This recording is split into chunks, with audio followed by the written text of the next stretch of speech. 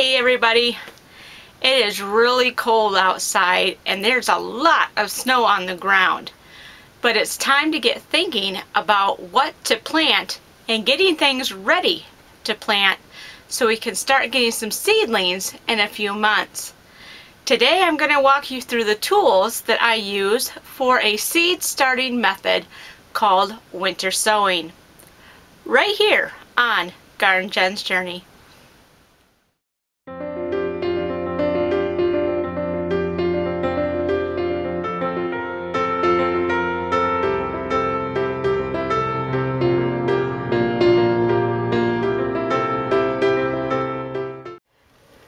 So here are all the tools I use for my winter sowing. I of course have my container which is uh, distilled water containers. Um, you can also use milk jugs. Um, any sort of tall and wide plastic container will do. You want ones that have a narrow top though, those work best.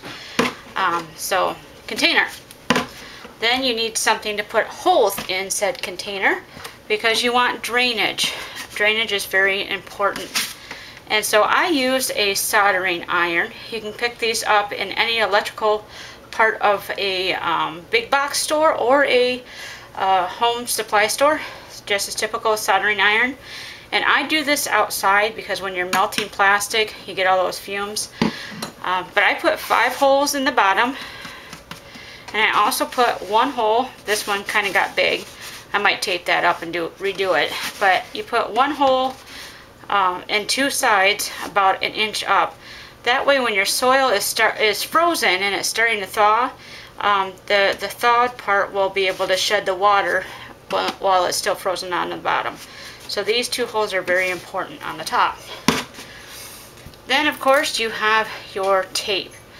I use Gorilla Tape. I've used this for years. Um, a lot of people get away with using the dollar store tape and some of the cheaper stuff, but for me, uh, this works the best at making sure it holds a good seal to keep this taped when you get ready to go.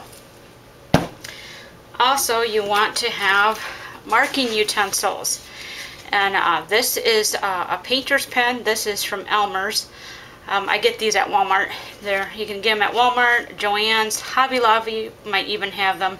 You can order them online, but you want to get uh, painter's pens and not your Sharpie marker. These guys will fade um, within a few weeks of these being outside. Uh, even though they'll say non-fade on them, they do fade. So get yourself uh, some paint pens. Um, I like to use the fine tip. You can do medium tip, but I would not recommend wide because that tends to smear and really make a mess. I also need plant labels.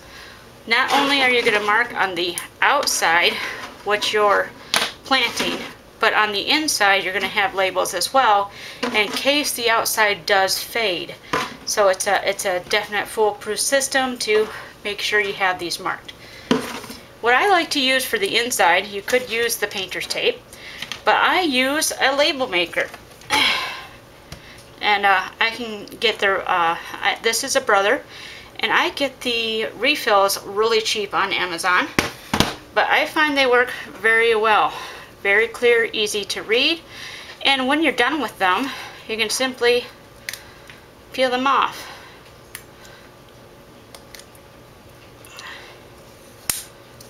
Like so.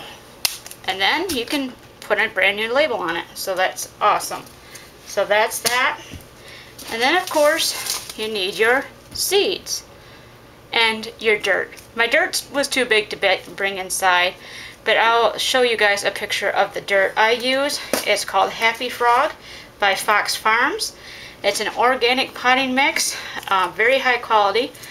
Um, it's somewhat expensive, but overall it's actually pretty cheap when you consider um, everything you put into this jug, I did the math, and uh, I'll, put the, I'll put the math in the description box below. But when I did the math of how much it costs for me to do all this with one jug, um, it cost me about 75 cents to have one jug planted with uh, anywhere from like 50 seeds to maybe just five tomato plants. but 75 cents for one jug. So overall, it's, it's very cheap to grow organic seedlings this way. So this is the tools, and I will show you later on a step-by-step -step approach on how I'm doing the actual winter sowing this year. Thanks so much for watching, everybody, and I hope wherever you are, you are wonderfully blessed. Bye-bye.